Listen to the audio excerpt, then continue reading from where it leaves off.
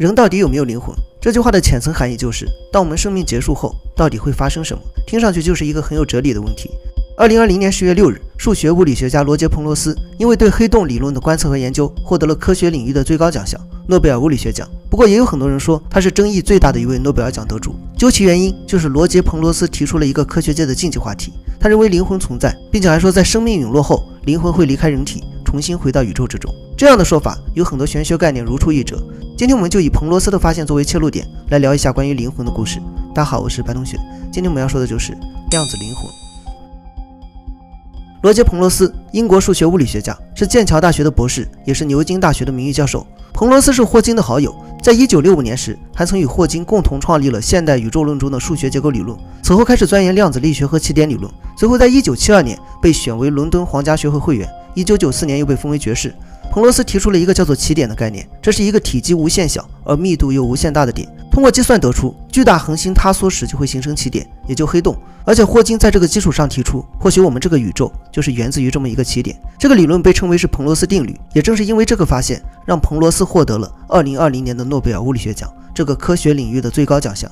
按照这个成就来看，他应该是诸多科学家眼中的标杆人物。但结果却恰恰相反。在一九八九年时，彭罗斯创作了一本名为《皇帝心脑》的书籍。他认为现在的人工智能不管如何先进，在有一点上永远也比不上一个普通人类。这一点就是直觉，也可以理解为是灵魂，或者说意识。按照彭罗斯的说法来看，人工智能都是逻辑运算，永远也摆脱不了它机械化的特点。但意识这种东西只能在量子系统中存在。人类是怎么产生意识的呢？他认为在人的大脑之中有许多处于纠缠态的电子，这些电子每塌缩一次，人就会产生各自的思维和思想。因为这些电子不断的塌缩而又不断的纠缠。这才产生了所谓的灵魂或意识。其实听到这里还算是比较科学，但接下来的理论和对灵魂的阐述却充满了一股玄学的味道。他说，一个生命在陨落后，灵魂不会因此消失，它其中的量子信息并未被破坏，而且他们会离开身体，重新返回宇宙。这样的解释与神话概念中的灵魂极为相似。再通俗点来说，就是灵魂属于宇宙。按照这个说法来看，我们这个宇宙突然就出现了诸多不确定性。如果灵魂不灭，那它会去到哪里呢？在了解彭罗斯的观点之前，我们首先来看一下历代科学家和现代科学界到底会如何解释灵魂呢？最早关于灵魂的科学研究就是灵魂称重实验。在一九零一年时，曾有一位叫做邓肯·麦克杜格尔的外科医生对灵魂进行了称重实验，就说人在死亡后，灵魂会离开肉体。那么通过测量生前与死后的体重变化，能不能找到灵魂的重量呢？根据这一假设，他利用外科医生的身份，找到了一些自愿参加实验的病人。在一九零一年时，他从养老院中特别挑选了六位病人作为测试对象，其中有四人患有肺结核，一人患有糖尿病，还有一人病因不明。在他们临近之际，会被放在一张特制的病床上，病床下方搭载一种特殊的测量机器。具体的测量结果大概会有五克左右的出入。实验开始后，其中第一位实验者的测量时间就持续了三小时四十分钟。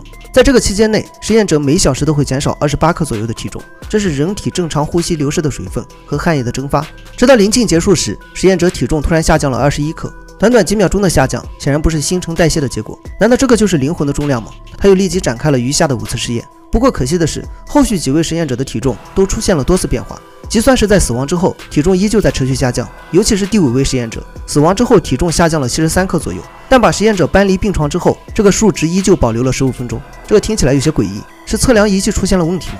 他也说不清楚。此后他还对动物进行过测量，结果他惊奇地发现，狗在死亡后体重完全没有发生变化。于是他得出结论：只有人存在灵魂，动物并没有灵魂。人体灵魂的重量大约有二十一克。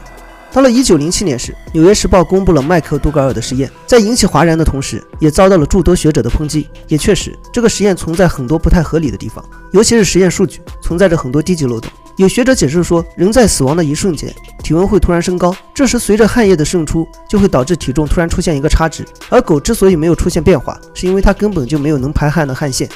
此后，可能是因为不甘的缘故，麦克杜格尔又生出了一个大胆的想法。他放弃了灵魂称重实验，打算用特殊的光线拍摄灵魂出窍的画面。如果人在死亡时灵魂真的会离开肉体，那么能不能通过特别的方式来拍摄灵魂呢？此后，他尝试用 X 射线来拍摄灵魂离体时的场景，但可惜的是，一直到去世也没有什么成果。直到1939年时，苏联技师克里安和妻子延续了他的实验，想要拍摄灵魂，就要搞清楚灵魂是什么。如果它有颜色，那么就可以用特殊的光线来捕捉；如果有温度，就可以用红外相机来拍摄。但如果它什么都没有呢？克里安想到了能量，他发明了一种拍摄生物能场的技术，并将其命名为克里安照相法。此后，西欧科学家克罗特科夫又改进了克里安照相法。在一九九七年时，克罗特科夫找来了摄影记者，针对濒死的病人进行了一次拍摄试验。根据对比，他发现人在死亡的过程中，有一部分蓝色会逐渐离开人体。他认为这种蓝色就是灵魂。不过，很快克罗特科夫的猜想也迎来了质疑，因为本身克里安照相法就存在很多漏洞，所以很多学者认为蓝色很有可能只是人体流失的水分和热量。一直到今天，几乎所有关于寻找灵魂的实验均以失败告终。所以，众多科学家认为，灵魂或意识并不能单独存在。例如，1962年的诺贝尔生理及医学奖得主克里克也曾研究过意识。他认为，灵魂存在于神经细胞之中，是人类大脑在成长过程中形成的一种特殊现象。截至目前为止，这也是医学界比较认可的一种说法。难道人在死亡后就真的彻底消失了吗？就没有科学家再次挑战灵魂这个难题吗？还有一个，现在仍在研究的就是濒死体验。而彭罗斯爵士的理念就与这个濒死体验有关。研究灵魂总归还是研究生死的话题，所以有一部分科学家就提出了濒死体验。什么是濒死体验呢？就是从一个人在遭到重创并送到医院后，一直到抢救成功之前，这段昏迷的时间就被称为是濒死期。科学家通过大量采访濒死的病人，发现这些人在这段昏迷的时间里会出现很多奇幻且类似的经历，这个就是濒死体验。比如说，他们能感觉到离开身体，能够回顾自己的人生，有的甚至还能看到一些已经去世的亲人。比较奇怪的就是，他们几乎都有灵魂出体的经历。那这个时候问题就来了：这些来自于天南海北的病人，为什么会有相同的体验呢？他们这些体验到底是怎么出现的呢？这一直是濒死体验研究的一大难题。那彭罗斯是如何解释的呢？他认为，人类濒死体验相当于大脑中量子计算机的一个程序，即使死亡之后仍存在于宇宙之中。也就是说，他认为灵魂是一种量子物质，这种物质在离开人体后就会返回到宇宙当中。听起来可能有些难以理解，这个还要从量子力学开始说起。在量子力学中，有个叫做叠加态的概念，就是指一个微观量子可以同时处于多种状态的叠加。这个量子的状态与我们的意识就十分相似。那意识或者说灵魂会不会也是这种量子状态呢？